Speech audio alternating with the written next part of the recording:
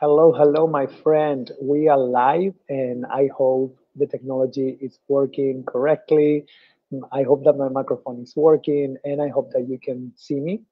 And um, I am super happy to be here today. I am very excited. We are going to talk about a topic that I have it close to my heart, which is uh, yoga philosophy and how to integrate yoga philosophy into your day to day as a yoga teacher, as a wellness practitioner, as a yogapreneur. And um, this is the subject I'm talking about this week. It's the it's basically the idea. It's from the blog post uh, that I have for this week.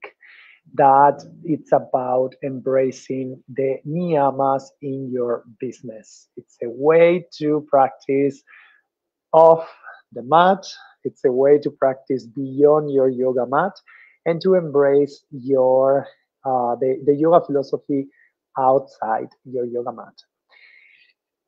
In particular, this blog post for this week, I think could be can be very helpful for those of you who perhaps feel doubtful at, times, and um, sometimes uh, you might be wondering about this path into entrepreneurship um, the difficulties, how how um, difficult it's to keep consistency and to keep moving forward um, and achieving that goal uh, of becoming a successful business owner for whatever success means for you. If you feel that way, this video today and my blog post is for you. Uh, I'm gonna give I'm going to be giving you some motivation and inspiration. Okay.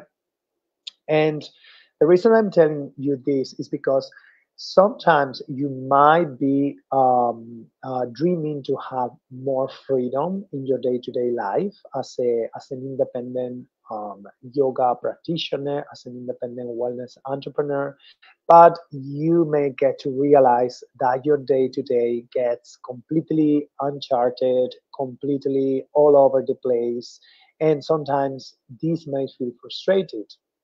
Um, the fact that you want to have more freedom in your life and to do the things that you love, but um, but also seeing that your day to day feels like kind of all over the place.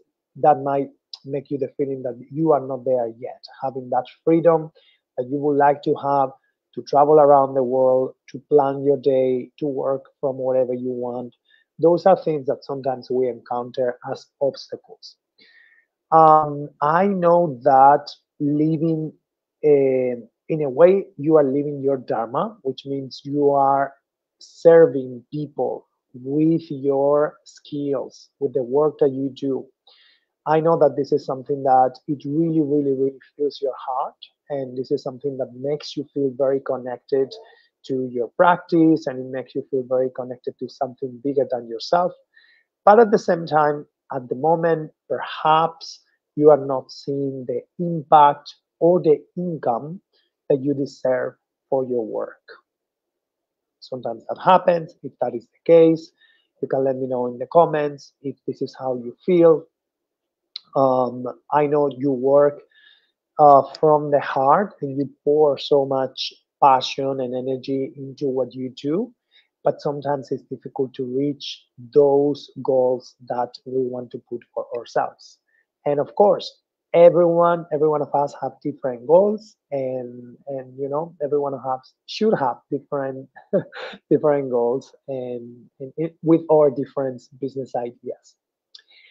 And um, well, so if all of these that I share with you just sound like you, stay here, my friend, because I'm going to share today, as I say, how to embrace yoga philosophy, in particular the niyamas, um, uh, the five niyamas of the yoga uh, principle, yoga practice, to integrate, to use them in a very simple way, uh, in a very practical way, to use them as a day-to-day -day, practice that you can use and integrate.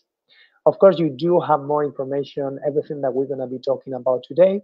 It's gonna it's written in my blog post, and if you want to access that information, you will find the description. Um, you will find the links to my blog in the description of this video.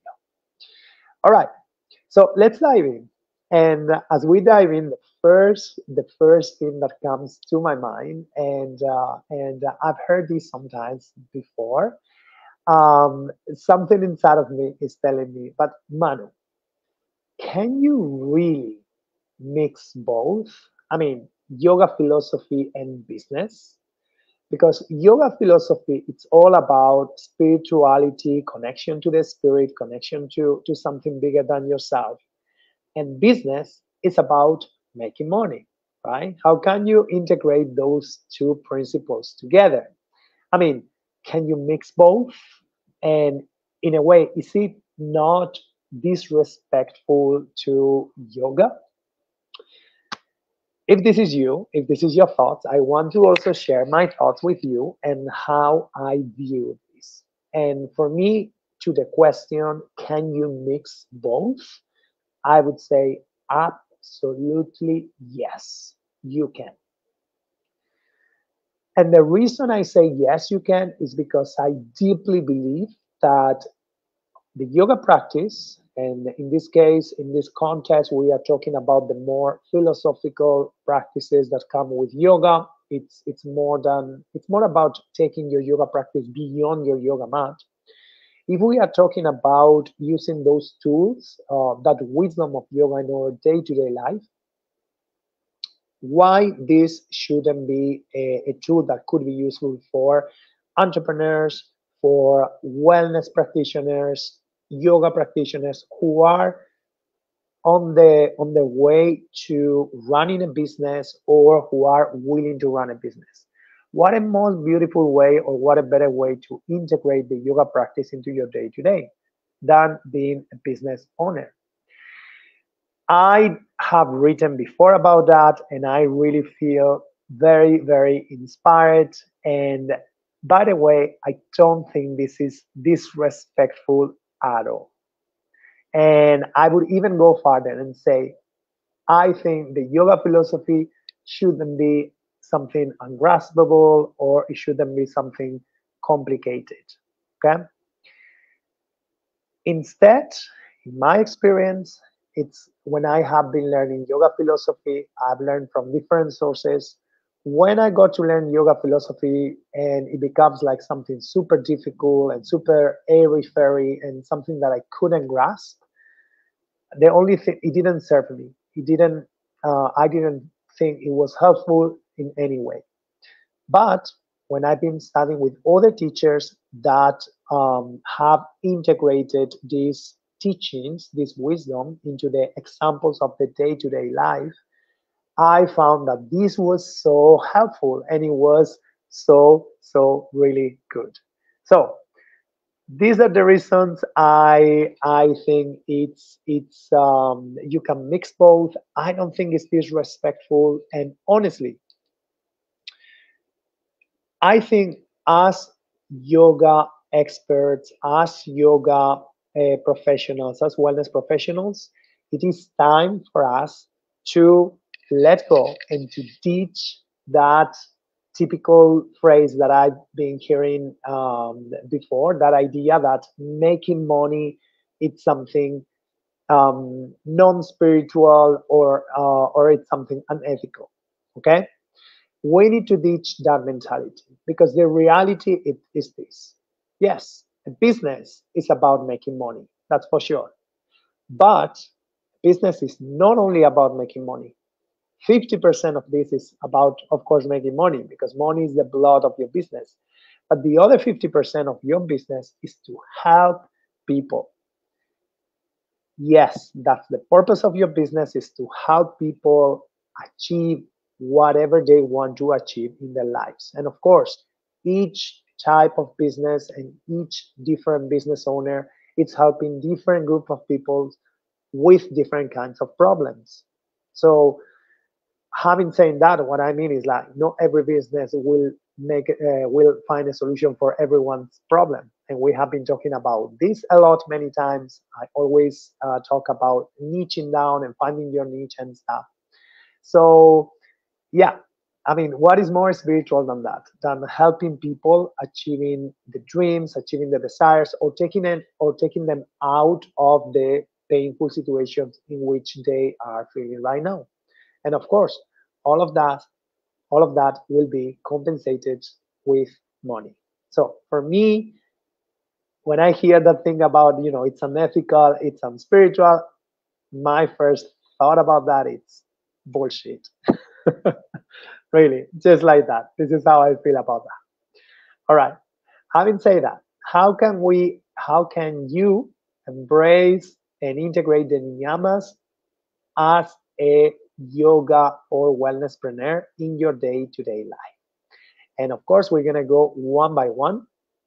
And the first one we have today is Saucha, which translates as purity and cleanliness. And uh, there are different perspectives from which I can see that you can integrate Saucha into your day to day life as a business owner, as an entrepreneur, as a wellness entrepreneur.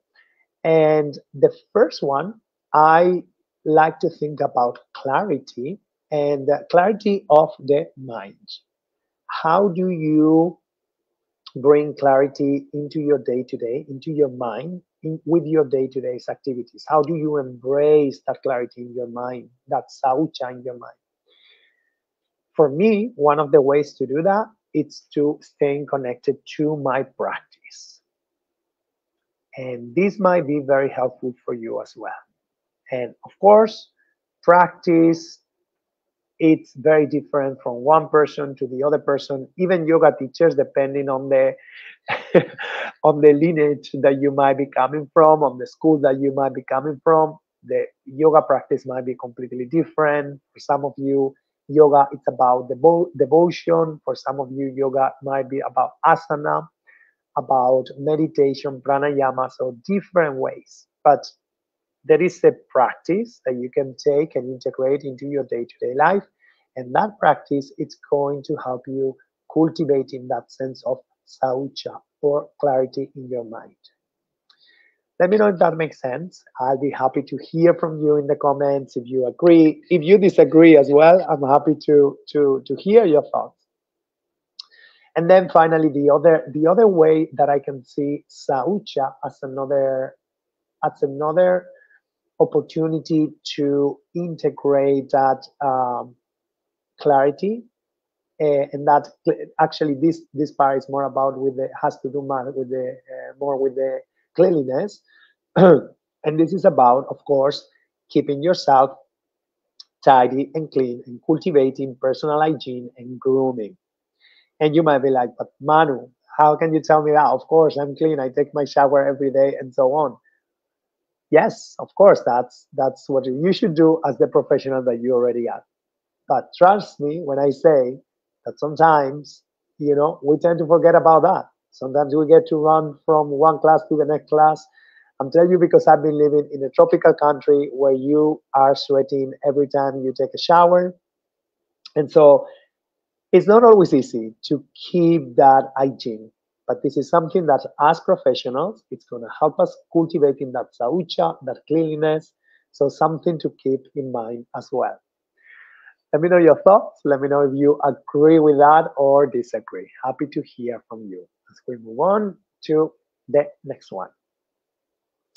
And the next one is our second niyama, which is santosha which this is one of my favorites and this is a niyama that I feel very connected to because I have experienced myself and I even like see this day after day how how when we get to complain about things and how when we get to speak about how terrible and how bad our life is, it seems that we it's even more difficult to move forward. It's even more difficult to to find the solution to our problems. Okay, so saucha to me it's very connected with the practice of gratitude. And sometimes we get to think about gratitude and and being grateful only when we may think sometimes oh my gosh only when i reach that when i have a i don't know when i have like a six figure business i'm gonna feel grateful every day or when i get to live the life that i want and i'm gonna be traveling and living in bali i'm going to feel grateful every day. But right now i'm not there yet I cannot feel grateful. Okay, mistake. For me, actually, gratitude should be integrated for no matter where you are at in your journey. So if you are even at the at the beginning of starting your business and you you know are at the moment like kind of zero, it's still it's a good day to practice Santosha, to integrate Santosha into your daily life and to practice that gratitude. Take your time to also celebrate any goals for, you know, as little as they are. Uh, they can be little goals or big uh, success or small success. Take the time to celebrate in them, to feel grateful, and to feel the contentment, which is basically the meaning of this beautiful word that is Santosha. Again, let me know your thoughts. Let me know what you think about this. I, I really love Santosha. And we're going to move now to tapas, which is another one of my favorites. And uh, tapas in Spain, if you've been in Spain, I'm sure you know what tapas in Spanish means. I come from the south of Spain, Andalusia. And tapas is basically a really nice snack that you would have uh, as you drink your your your drink you know your beer or your coca-cola or whatever you drink. You will have this little piece of food called tapas. But within the context of today's life of course we are talking about tapas from the niyamas which is about discipline. Sometimes tapas is translated as austerity but to be honest, austerity is not a word I resonate with, and uh, I don't think austerity is something that um, can bring a lot of benefits into your day-to-day practice. But discipline, I think it's a very good word. And what I like to think about when I think about how to integrate tapas into your day-to-day as a as an independent uh, yoga teacher, as an independent wellnesspreneur, the first word that comes to my mind it's boundaries. You really need to be clear on your boundaries. And when i talk about boundaries i'm talking about planning your day planning your week having a set up schedule including what are your top priorities including what are the times of the week in which you're gonna be also cultivating um, uh, saucha, in which you're gonna go and do your workout and you're gonna go and do your practice. These are also non-negotiable and important parts of your business. And tapas is about creating that structure, creating that that that um, list of tasks that we must do if we want to move forward in our business, and to stick to them. Super important, okay? Tapas, remember, once the weekend is here, yes, you can go out and have some tapas, like the, the Spanish tapas, that's fine. But during the working days, whatever those days are for you, please, please, please find that clarity, find that um, structure, and stick to that because only tapas, only that fire, sometimes tapas is also um, translated as fire, only that fire is going to allow you to build that dream business. Okay. Good. Let's go to the next one. Svadhyaya, self-study. Self-study. And self-study, it's about uh, sometimes also translated as study of the self. And in this case, very often the self is with capital S self-study for me it's about introspection. It's about listening to yourself. It's about embracing all of the emotions you get to you get to live throughout your day. It's about acknowledging those under under hidden emotions that we have sometimes that it might be um, hard for us to manifest or it might be it might be hard for us to accept that we have those emotions. That is what svadhyaya is is, is svadhyaya is about for me. It's about connecting with that um, inner dialogue that we have and embracing anything that comes up. From a business perspective I like to study how my business is going, how is it doing, and especially how am I doing and how am I feeling. One of the practice I like to do is to record at the by the end of the week to do a little recording. Uh, sometimes you can also you could work with a little diary and to write something or to record something about how did the week go and especially how did you feel throughout the week. This is the way, this is one of the ways I feel you can integrate Svadhyaya into your day to day as a yoga or wellness trainer. If you have other, other ideas, I'll be super happy for, to hear from you. Let me know in the comments. As I said, this is a very practical way that I that I that I like to use, and I I find it very very helpful. And finally, let's go to the last of the niyamas, which is Ishvara Pranidhana, which sometimes is translated as surrender to God.